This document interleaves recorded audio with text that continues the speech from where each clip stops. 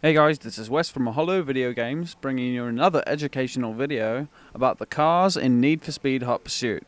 For more videos in this series, visit mahalo.com backslash NFS HP Cars. And make sure to comment, rate, and subscribe. Cheers.